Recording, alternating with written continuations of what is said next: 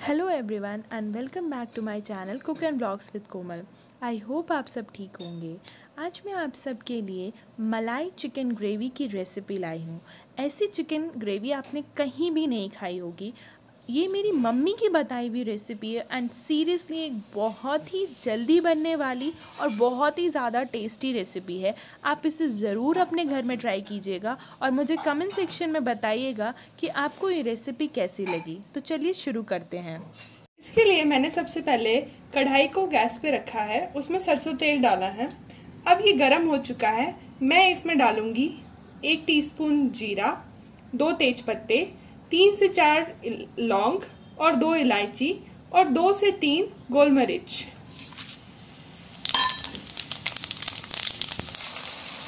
अब मैंने इसमें पाँच प्याज को काट के डाल लिया है। मैंने हाफ़ के जी चिकन के हिसाब से प्याज काटा है।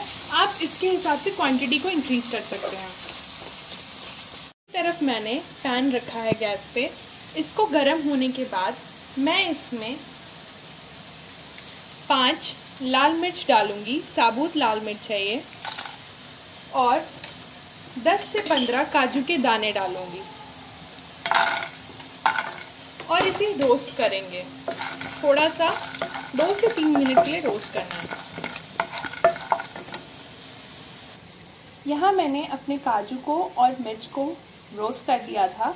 अब मैं इसमें डालूँगी दो बड़े साइज़ के टमाटोज़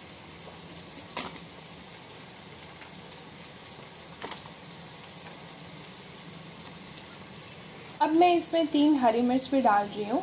ये पूरी तरीके से ऑप्शनल है। अगर आप ना डालना चाहें तो ना डालें। और इसे हम ग्राइंड कर लेंगे। अब आप ये देख सकते हैं कि मैंने उन सारी चीज़ों का एक फाइन पेस्ट बना लिया है और इसे अब हम साइड रख देंगे। अब आप ये देख सकते हैं कि हमारा प्याज गोल्डन ब्राउन कलर का हो चुका है। अब मैं इसमें one and half tablespoon ginger garlic का पेस्ट डालूँगी। और इसे एक से दो मिनट के लिए फ्राई कर लेंगे। अब मैं इसमें डालूँगी एक tablespoon red chilli powder एक टेबल स्पून हल्दी powder half tablespoon coriander powder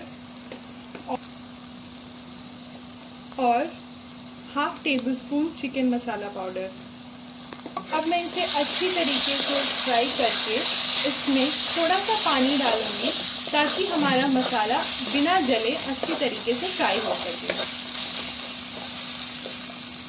अब मैं इसमें थोड़ा सा पानी डालूँगी ताकि हमारा हमारा मसाला नीचे से जले ना। अब मैं इसमें अपना चिकन डालूँगी। और मीडियम फ्लेम पे इसे छः से सात मिनट के लिए कब पकाएँगे?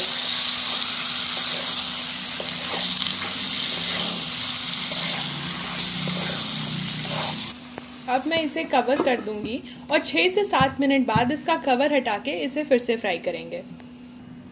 अब हम इसे हटा के देखेंगे और अब आप देख सकते हैं कि हमारा चिकन अच्छी तरीके से पक रहा है। बहुत ही अच्छी खुशबू आ रही है इसमें से। तो अब मैं इसमें डालूँगी जो हमने पेस्ट बनाया था, टमाटर और मिर्च का और काजू का, वो अब मैं इसमें डाल दूँगी।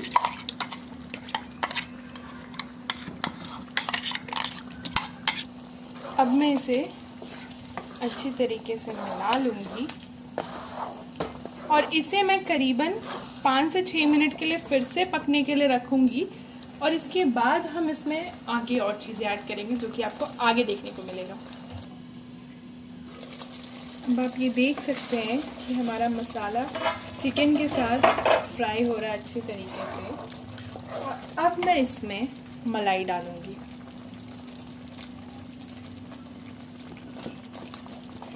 ये घर की दूध की मलाई है। आप चाहे तो इसमें फ्रेश क्रीम भी डाल सकते हैं। अब 10 मिनट के लिए हम इसे मीडियम फ्लेम पे कवर करके फ्राई करेंगे। अब आप देख सकते हैं कि हमारा तेल पूरी तरीके से ऊपर आ चुका है और अब मैं इसमें नमक डालूँगी। एक टेबलस्पून नमक डालेंगे।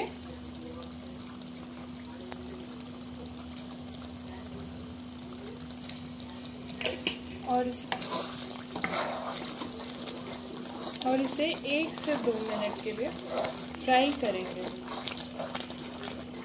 अब मैं इसमें पानी डालूँगी। पानी आप अपने हिसाब से डालें। अगर आपको थिक ग्रेवी चाहिए तो ज़्यादा पानी ना डालें। अब आप देख सकते हैं कि हमारा चिकन अच्छी तरीके से पक चुका है। तो अब हम इसमें कस्तूरी मेथी डालेंगे।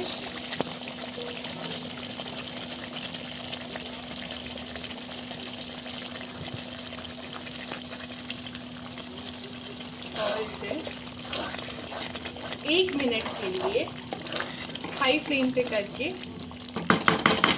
एक बॉईल आने देंगे और इस, ये हमारा चिकन रेडी हो चुका है। आप देख सकते हैं कि यहाँ हमारा चिकन बन के रेडी हो चुका है और मैंने इसे राइस के साथ सर्व किया है।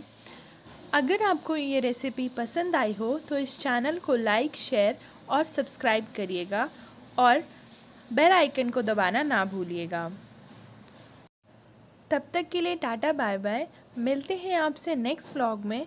ध्यान रखिएगा। Thank you.